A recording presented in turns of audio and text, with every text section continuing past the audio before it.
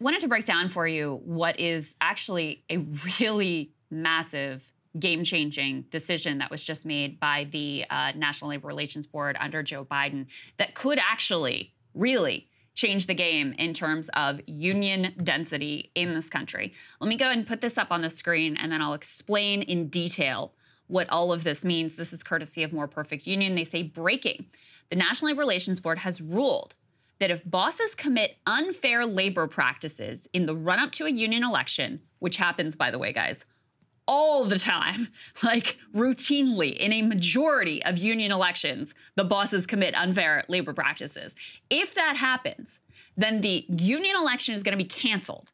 And the National Labor Relations Board will order the employer to immediately recognize the union and bargain with the union. More Perfect Union adds union busting just got a lot harder. They go on to say now every union campaign has to go to an election to get formal recognition, but bosses use that time to union bust, often illegally. Now, if a majority of workers support the union, bosses will have to stop union busting or be forced to negotiate and recognize the union with no election at all. As the chair of the NLRB says, quote, it eliminates incentives for employers to commit unfair labor practices as a way to delay or defeat representation when a majority of workers have shown support for a union.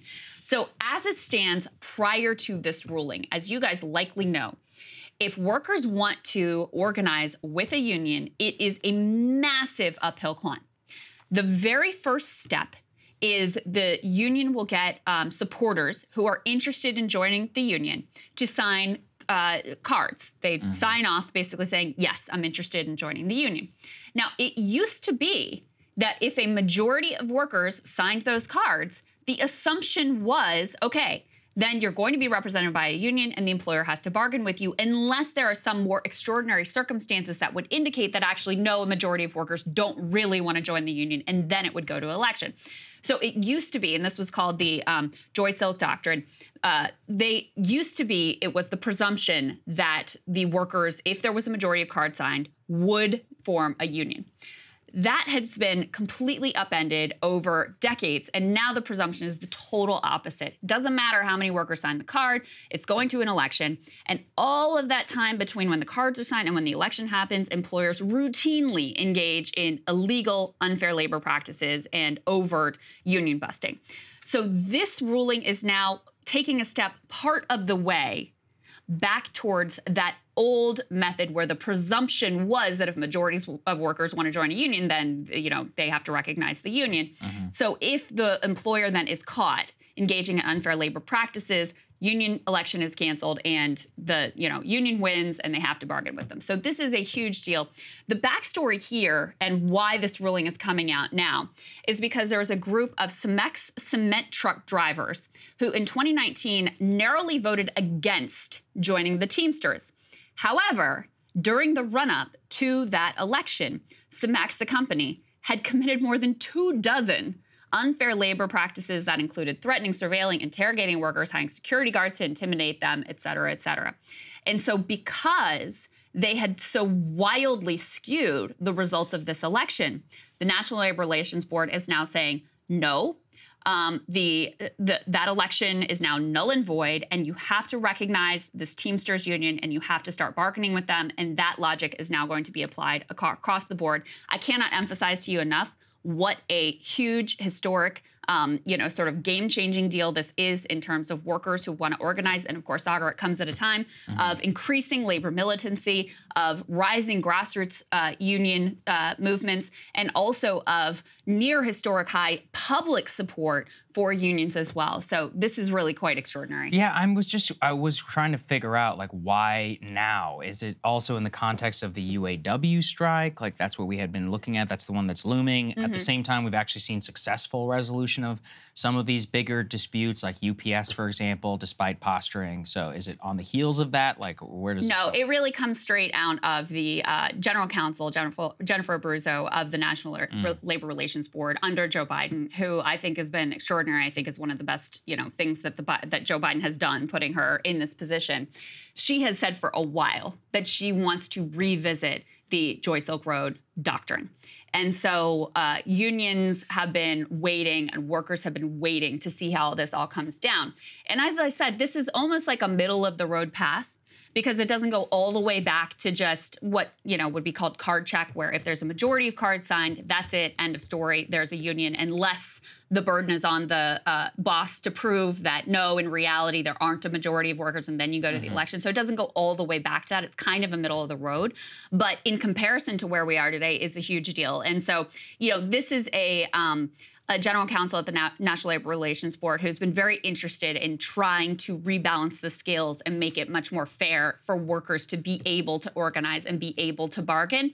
And this particular case that ended up before the National Labor Relations Board just gave them the sort of perfect opportunity to revise and update um, the you know the approach with regards to when unions are recognized and when the elections have to occur. So I think they were, if I had to say why now, it's because this case provided them with the opportunity to issue an updated ruling and updated guidance about how this is all supposed to work. That makes sense. Well, then it will likely spawn some more labor actions in the future because people will feel as if they have much more of a cover and it'll also change the way the business has to interact yeah. with said unions. Workers will have a lot less fear about like, because as of now, you know, we, we covered the Amazon fight down in Bessemer, Alabama, right? Mm-hmm.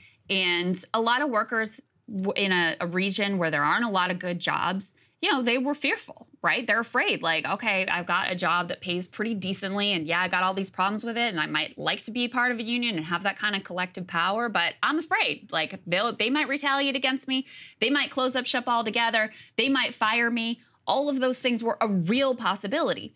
And in the past, workers that routinely, I mean, bosses that routinely union routinely union bust, like Starbucks, like Amazon, like basically all of them, they would get a slap on the wrist. You know, they have to like pay a, a, modest fine or post the rules that and the rights that workers have in the workplace. And that would basically be it. So there was no real accountability or no real consequence to work to bosses just overwhelmingly union bust. So yeah, this completely changes the landscape. I mean, I think it'll take some time for workers to really internalize like no, actually I don't have to be so fearful of those consequences. I can actually if I want to join a union, be involved in organizing and all of those things. But the way that this rebalances the scales, the way this changes the landscape, we've had years and years and years of union density decline. And even in this past little, um, you know, little stretch over the past year or couple of years, where you've had a lot more activity, you've had a lot more strikes, you've had a lot more union efforts, you've had the Starbucks movement, the Amazon movement, all of that stuff, you still, as a percentage of the workforce, have seen the percentage, like the union density decline this could actually be the thing that flips that on its head, mm-hmm. that enters a new era of increasingly building worker power. And, um, you know, to shift to the other part of this that is really big, you pointed out the Teamsters, the UPS workers um, organized under the Teamsters just scored some major wins in terms of their contract, got a lot of attention. Some of the drivers are going to be making 170K yes. a year. With benefits. With that's, benefits. Yeah. Those are, you that know, but that's a, benefits. that's yeah. a good, good wage. And by the way, that's not just good for UPS workers. Any driver in the like package delivery industry is probably going to benefit mm-hmm. from this because FedEx, they're going to have to up their game to compete now with UPS. So you're starting to see these big national movements where workers can really tell, hey, if I have a union, I might be able to get a better deal. I, they can see the wins in the games that are occurring here. And we've got another really big one that is coming down the pike that we've been following closely. Go ahead and put this up on the screen. So, the United Auto Workers, who of course uh, represent workers at all the big three uh, automakers, they have now overwhelmingly voted to authorize strikes at GM, Ford, and Stellantis. Stellantis, the name of the other uh, big three at this point. The union on Friday said an average of 97% of combined members at the automakers approved the action. However, final votes are still being tallied. Uh, they have a new president at the UAW, a guy named Shawn Fain, who ran on being more militant and more representative of the rank and file. He was quoted as saying, The big three is our strike target, and whether or not there is a strike, it's up to Ford. GM and Stellantis because they know what our priorities are. We have been clear, and the um, demands that the union is starting their negotiation with are, you know, they're quite extraordinary. Like they're they're audacious, and I personally love to see it. Includes a 46% wage increase to match the wage increase that the CEOs of the big three have gotten over the just the past couple of years, restoration of traditional pensions, so not 401k, like defined benefit, this is what you get, and that's the end of the story. Cost of living increases, which was something that these workers gave up when they helped to bail out these automakers during the financial crash, and reducing the work week to 32 hours from 40 and increasing retiree benefits. So basically going to a four day work week, something that has been successful in other industries and studies have shown has been pretty successful overall.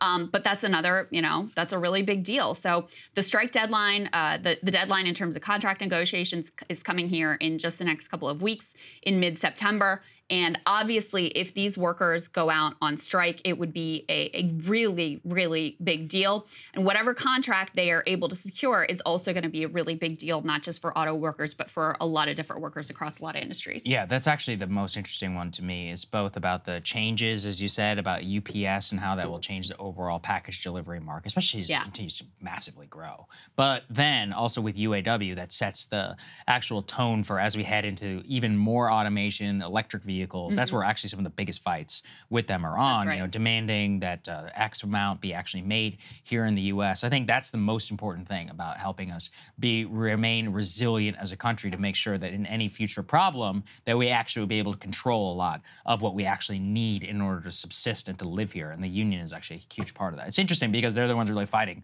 for all of that. If the execs had their way, every single thing would be made in China. They don't even want to make it in Mexico. Right. They want to make it all halfway across the globe in order to save, you know, a penny in order to squeeze even more out of the, t- the stock price. Yeah, and the UAW has been unhappy with the Biden administration not doing enough to make sure the new EV mm-hmm. and battery jobs are union and pay you know similar wages to the rest of the industry. So that's one of the big fights. But um, you know, not everybody is happy about workers trying to claim a little bit of power, a little bit of better wages, benefits, et cetera. Over on uh, Bloomberg News, they were live from Jackson Hole, Wyoming, and it's very beautiful, uh, lovely surrounding that they're there, kind of freaking out about this potential strike and what is going on with, with the workforce. Let's take a listen. We've had the pay rises. We've had the union action. We haven't had the strikes. Exactly. And I don't think anyone wants to see those strikes anytime soon either. Which has transmitted into this belief that labor has the upper hand. And that if labor has the upper hand, price increases can continue not just union jobs, but more broadly. And that is the key question here. Is that going to continue so that you see a longer right. and higher inflation and a stronger and better economy for even with the rates that we see right now? So it's time for the surveillance extrapolation. We do this every year at Jackson Hole. John, I, am trying to envision you, brown shorts, working your butt off at UPS, popping 170 all in. That's so never going to happen, just to be John, very clear. Why not? Why are you talking down the potential for this to happen? If we put John... Even our next guest is laughing. Exactly. Okay. yes, John, exactly. Lisa, if we put John at Flint, Michigan, building Buicks, uh-huh. what are you going to pop, 225? Not sure. You got to pay an okay. auto worker more you know than what? a guy delivering boxes. They cannot believe that mm-hmm. these workers are actually earning decent salaries. They think only people like them deserve deserve to earn, you know, living, uh, able to afford like a house and a middle class life, et cetera. But, you know, the thing I love about those clips when we played some of the ones with uh, Cramer freaking out mm. over on CNBC is just like, this has never happened in my life where they actually feel worried that there is some countervailing force on the other side, and it is a remarkable thing to behold. I think what happened is is that we had a massive oversaturation of white collar workers. Is that obviously with the student debt crisis, then you have an entire generation of people who wake up and you're like, wait, I don't actually make all that much money, and especially whenever it keeps up with the infl- real inflation, not just inflation cost of goods, but the necessary inflation for shelter, and then you combine mortgage rates. And then you have to look at like what are people actually paying for? What's genuinely valued? At the end of the day, it's about capitalism. And in our system, what we are finding is that the service sector in general, we've squeezed as um, not as much as we can, but a lot of what we have already to get the gains, but we've forgotten so much about all this necessary part of our economy, the blue collar workforce. And then they, using their ability in order to extract concessions, are like, yeah, we actually want to get paid. You relied on us all throughout COVID. We're not just going to sit here and we're not going to take it anymore. It turns out AI is more of a threat for the lawyer than it is for the driver. Yeah. And so in that scenario, it's like, you know, uh, I'll, I'll, I will not say it in the uh, in a crass way uh, from Goodfellas, like screw you, pay me. You know, it's like I, I've got you, and why shouldn't they? So it does annoy me, you know, the way they're talking like, oh, pulling 225 an hour. There's no way. All of that. First of all, it's not true. Uh, but second, you know, it's one of those where it's like, well, okay, but what's wrong with that? Like, why is that bad? Right. Why, why, why is it bad though? What are you saying that the the bow tied guy sitting in Jackson Hole? I really think a lot of it is class anxiety. They're just Oh. mad at the idea that these people will actually get paid even close to some of them or their kids who Yes. are, you know, majors something useless in college and we're banking on some like you know, upper middle class ish type job, which is just not paying out the same way that it used to. Yeah, I Yeah. think I think the class anxiety part of this is very real, and the class discontempt. Like they just don't fit. Like none of those people could do the, the package delivery job. exactly, right. None of them could do it. I couldn't do it. That is a freaking hard job. Those men and women are working their asses off, and it is brutal, and it is hard on your hard on your body. And they are actually providing a service that every one of us depends on. And uh, so to have this like sneering contempt about them earning a decent wage and being able to potentially, possibly, maybe sometime in their life afford a house, and that they think that that is so undeserved. Meanwhile, you know, they don't think twice about the multi-million dollar mm-hmm. salaries that they're raking in, like sitting in a studio or flying to Jackson Hole and opining for the world on their thoughts on, you know, the business world from on high. They don't think twice about that. But when it's people who are actually making the economy work, building cars, delivering packages, et cetera, it's nothing but sneers and nothing Yeah. but contempt. That's right. Hey guys, if you like that video, go to breakingpoints.com, become a premium subscriber, and help us build the best independent media organization on the planet. That's right. We're subscriber funded. We're building something new. We want to replace these failing mainstream media organizations. So again, to subscribe, it's breakingpoints.com.